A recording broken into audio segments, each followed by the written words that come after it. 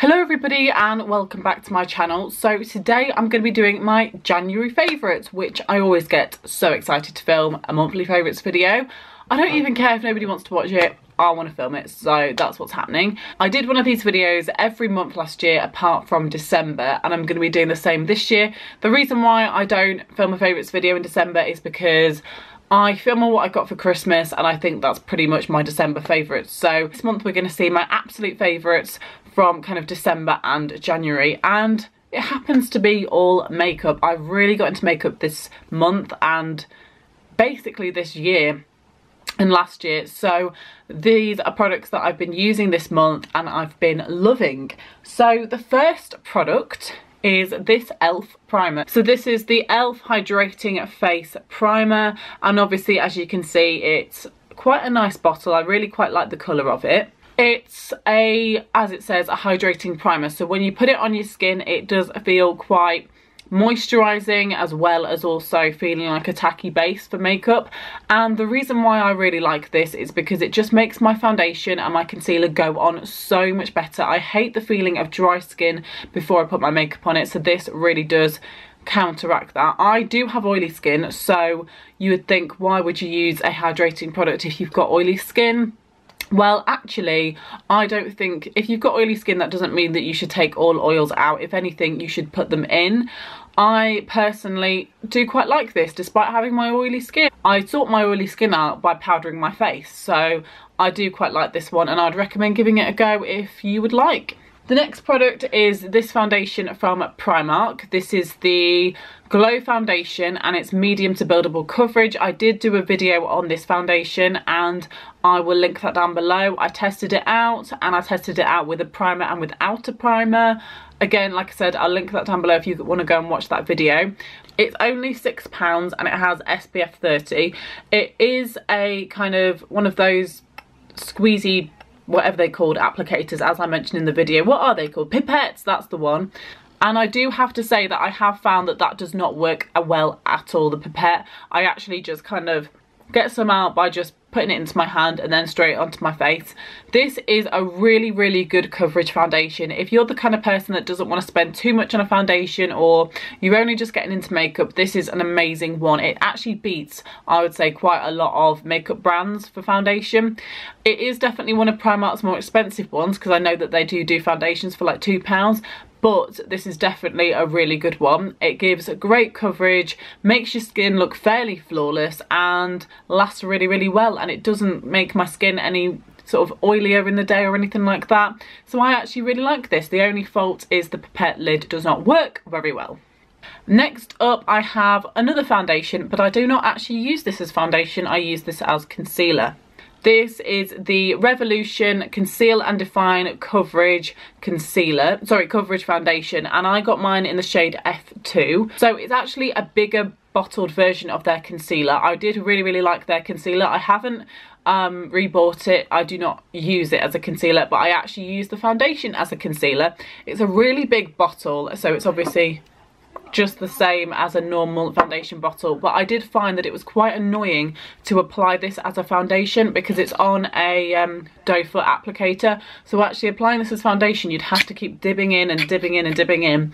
When actually when I use it as concealer it's actually perfect. I literally take a little bit underneath my eye down my nose on my chin on my forehead and one little dab of this works really really well. I I'm very impressed with it. It doesn't give as much coverage as your usual everyday concealer, but that's not really needed for me. I don't need heavy, heavy coverage. The foundation that I use is quite good coverage anyway, so I don't need amazing coverage from my concealer. But yeah, it blends in really well. Perfect shade for the concealer that I would like. It's quite brightening and yeah, maybe I'll do a video testing this as if it's a foundation, but be honest with you, I like the fact that I'm using this as a concealer. The first powder is this one from the collection. So this is the Bronze Glow Matte bronzer. Now I don't really know why it's saying bronze glow and then it says the word matte because surely a glow and something that's matte are the opposite things.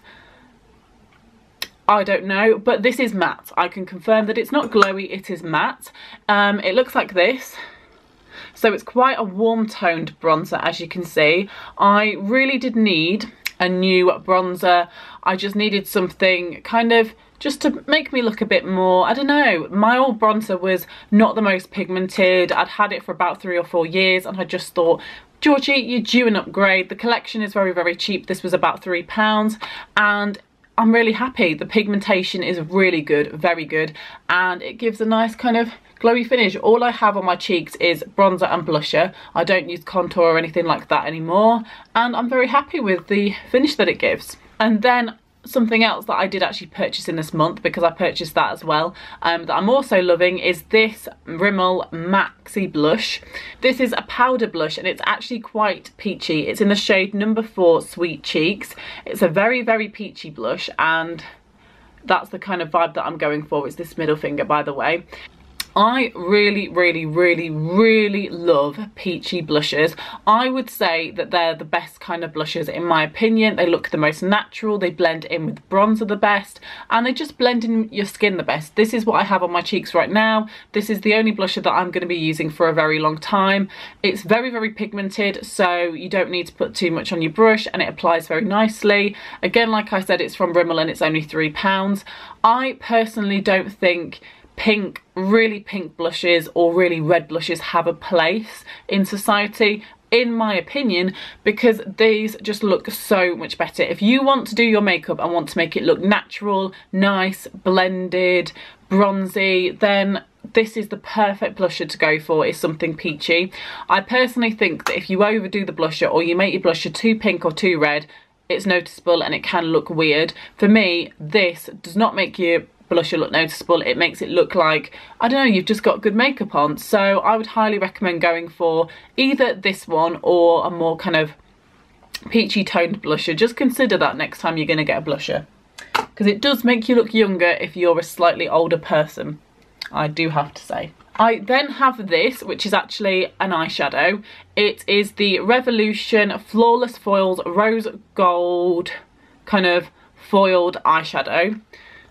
So this is what it looks like. I still kept it in the packaging. It has a glue inside it and it also has the actual foiled pigment itself. So I'll get this out to show you. I, Jesus Christ, I packaged it up just to show you and now I can't get anything out. So yeah, this is what it looks like. My friend Steph did actually get me this one and like I said it's in the shade rose gold but when you feel it it's almost like putting your hand in putty. It's crazy, I absolutely love it.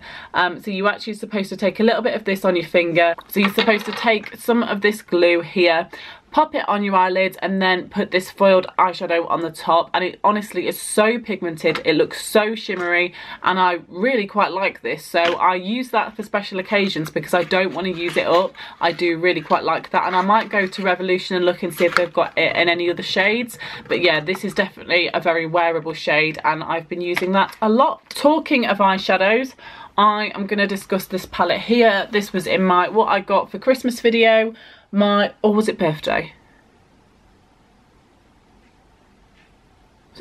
Oh no, this was in my what I got for my birthday video.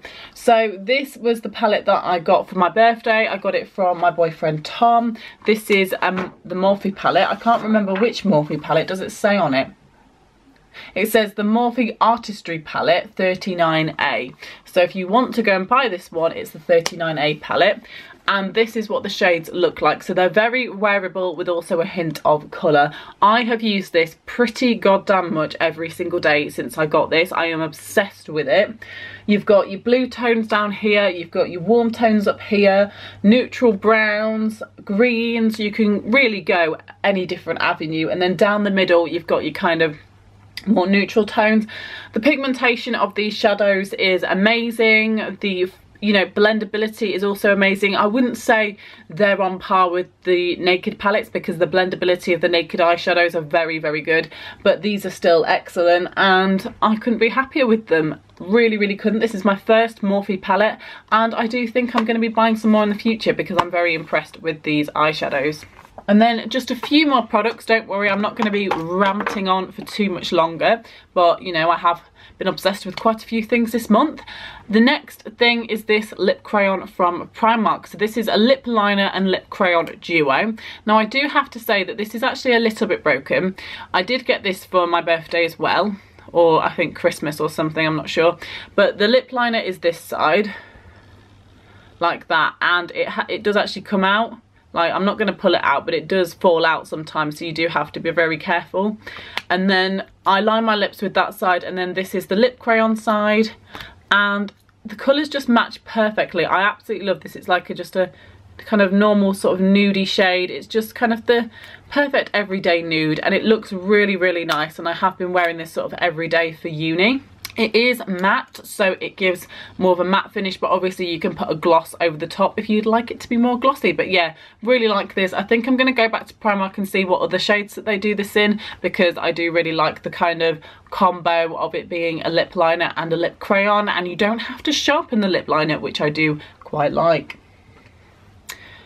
And the next thing is this eyebrow, eyebrow? The next thing is this mascara.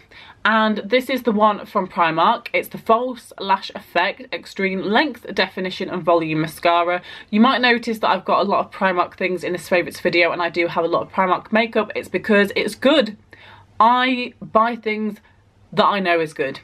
So I bought this and I'm so happy that I did because it's so good.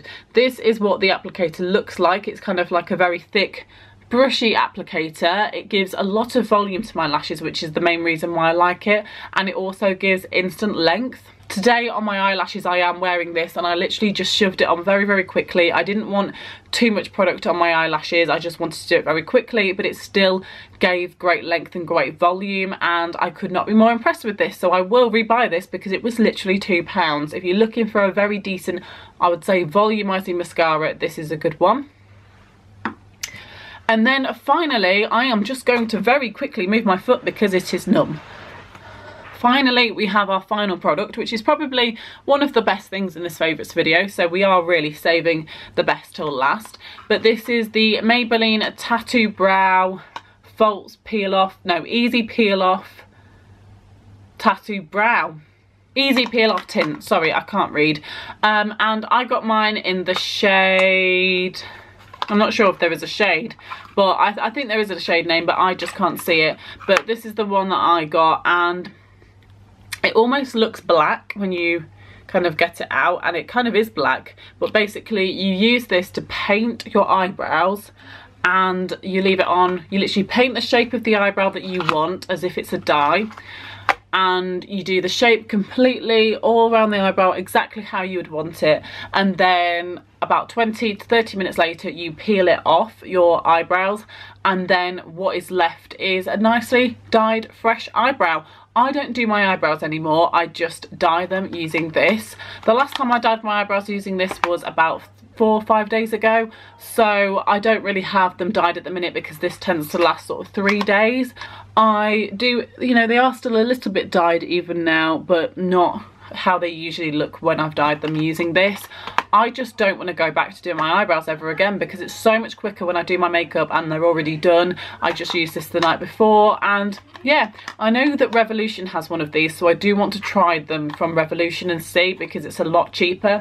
Just see how it works but yeah, very impressed with this. Worked so well and changed my eyebrow game. So that is everything for my January favourites. I just wanted to keep it being makeup. I didn't want to talk about anything else because it would be so ridiculously long if i did. So next month it will probably be less about makeup and more about kind of skincare um, programs i'm watching that kind of thing just more tailored to you know that sort of stuff rather than makeup. But anyway i hope you enjoyed this video. Please do give it a thumbs up if you did like it and remember to subscribe for more content on my channel. Thank you for watching and i will see you very soon. Goodbye